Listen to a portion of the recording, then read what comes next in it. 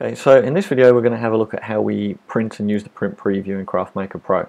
So we'll use an invoice as an example, so we'll go into the invoices section and we'll just select this invoice here. And then if we go to print along the toolbar at the top here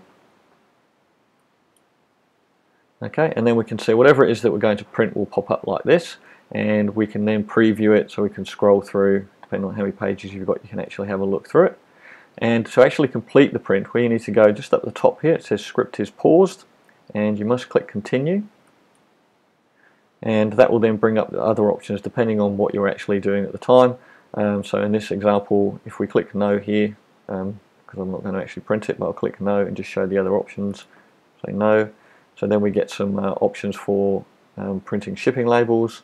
So we can print shipping or customer labels or we could print a PDF catalog of the items as well.